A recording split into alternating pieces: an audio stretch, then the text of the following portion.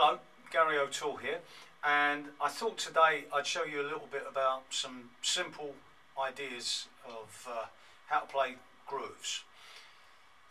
The way we're going to start is by taking an eighth note groove, as we call it, and uh, really trying to spice it up. So what I'm doing is I'm playing with a metronome. metronome set to 80 beats per minute, which is one and two and three and four and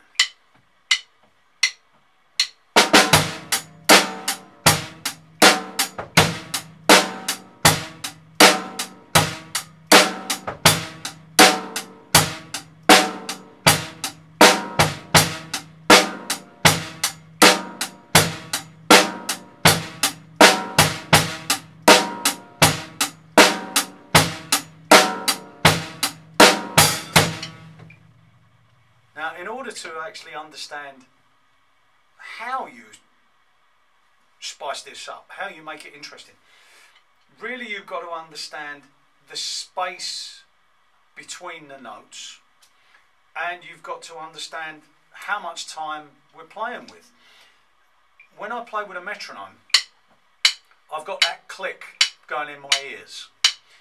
And the point about that is that's the guide and I tend to think of it as like if you're playing in a band and you're playing with a percussion player, then he might be playing uh, clave, which has got that kind of sound. It's very similar to the sound I've chosen for the click to be in my ears. Sometimes it's like a cowbell. And what you should do is actually think about that as being the key to understanding how to play along with a metronome. Because if we just think of it as a click it's boring. So we want to make it a little bit more interesting. So you've got that percussion going on in the background. We're going to call it percussion rather than a, click because it makes it much more obvious what we're describing. So once we do that one and two we want to play in time with that so that's why when we play with a metronome, we learn how to do that. Now, the key to this is understanding the space. So we try and put a grid down. If I'm playing this particular groove is an eighth note groove, and we would count this if I just get it with the metronome one, two, three, and four, and one, and two, and three, and four, and one, so that's what we're counting as we play three and four.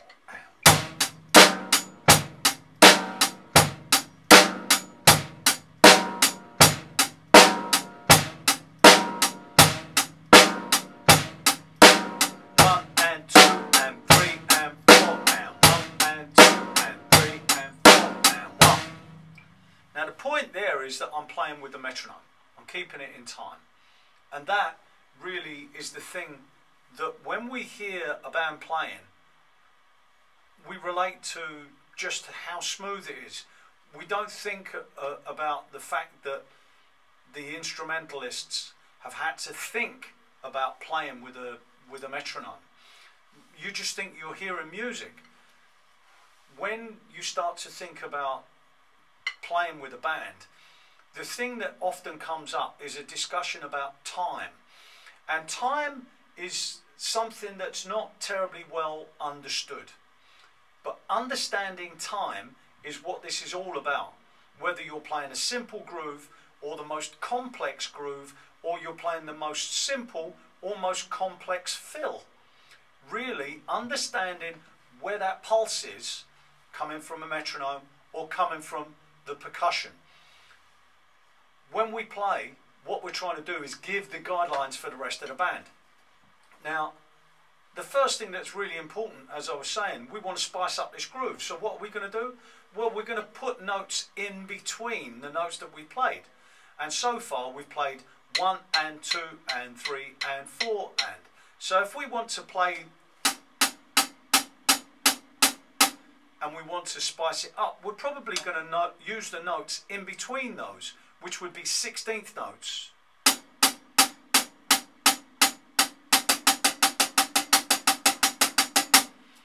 And what we do to make sure that we know where we are is we count those. So it's 1 E and a 2 E and a 3 E and a 4 E and a 1 E and a 2 E and a 3 E and a 4 E and a. Now if you've never done this before, you should take it back to maybe 50 beats per minute. So 1 E and a, 2 E and a, 3 E and a, 4 E and a. And get used to that 1 E and da, 2 E and da. Get used to that counting. So what I'm going to do now is actually put the notes in between. So let's put the metronome on. 1 E and a 2 E and a 3 E and a 4 E and a.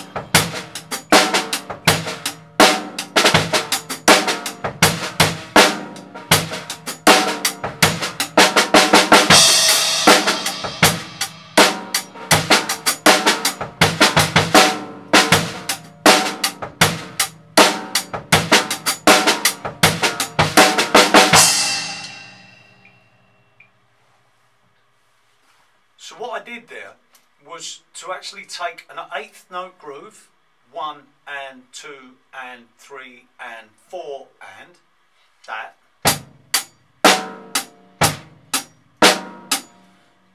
And then I put, first of all, the bass drum on extra spots in between the hi-hat.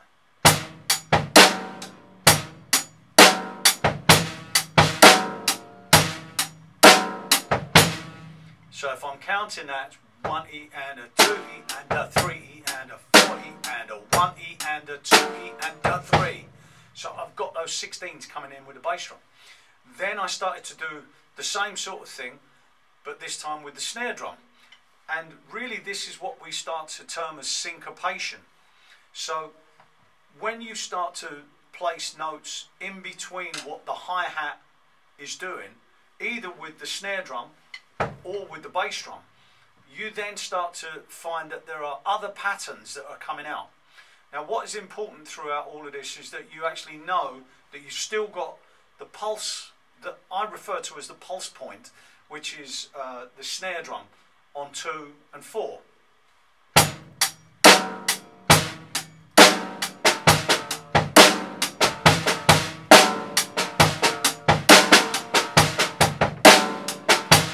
So although there are other notes being played, actually we're playing them at a quieter level.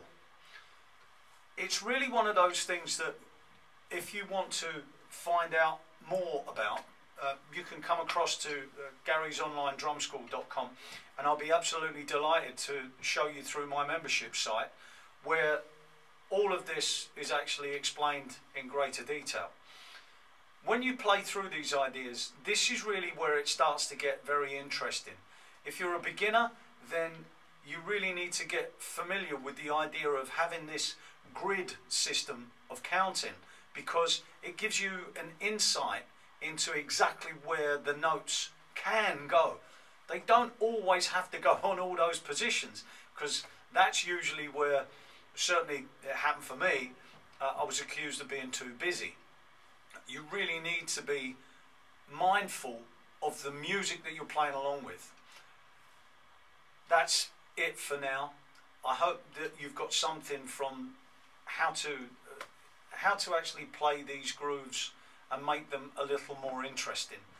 And if you find this interesting, please give me a like just below this video. And if you want to find out more, please come across to uh, garysonlinedrumschool.com where I'll explain all of this and more in greater detail.